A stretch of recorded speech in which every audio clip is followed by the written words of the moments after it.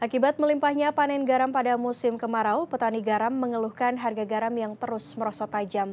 Bahkan harga garam di tingkat petani saat ini dihargai sebesar 600 hingga 700 rupiah per kilogramnya, jauh di bawah harga ideal 1.500 hingga 2.000 rupiah.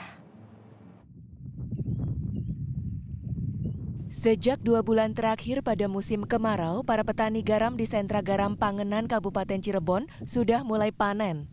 Pada Rabu pagi, tampak garam di sentra tambak garam ini mulai melimpah karena banyak petani yang panen garam. Namun demikian, mulai melimpahnya pasokan garam di tingkat petani tidak serta-merta menguntungkan para petani garam.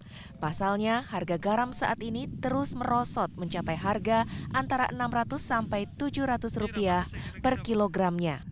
Padahal sebelum memasuki musim panen pada Juni lalu, sempat mencapai harga tertinggi Rp4.000 per kilogram karena minimnya pasokan garam. Namun kemudian memasuki musim awal panen, harga mulai turun menjadi Rp2.000 per kilogram. Menurut petani garam, penurunan harga ini hampir setiap hari terjadi. Bahkan diperkirakan harga garam masih akan merosot seiring mulai memasuki panen raya garam. Merosotnya harga garam ini juga dikeluhkan para petani garam. Petani garam mengaku harga ideal garam di tingkat petani antara Rp1.500 hingga Rp2.000 per kilogramnya.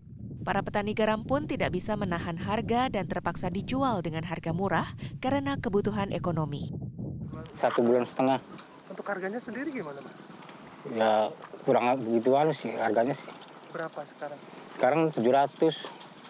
Oh gitu? Iya. Segitu murah atau gimana? Ya murah Pak, 700. Idealnya berapa, Pak? Jadi paling sebenarnya 2000 lah sedang gitu. Oh, sedangnya 2000. 2000 supaya petani itu bisa memadai kan gitu. Kalau sebenarnya sih idealnya sekarang itu 1500 lah. Hmm. Idealnya. Harapannya segitu. Ha. Penurunan harga sejak kapan nih, Pak? Ya, pos per hari itu turunnya 200-300. Oh, hampir tiap hari? Tiap hari. Sejak kapan? Ya, sejak semenjak harga 4.200 saja tuh bulan kemarin ya? Bulan kemarin ya bulan 6 mana? Bulan 6 bulan bulan 6 akhir. Para petani garam berharap agar harga garam dapat distabilkan sehingga tidak merugikan para petani garam. Jeri Komara, Kabupaten Cirebon.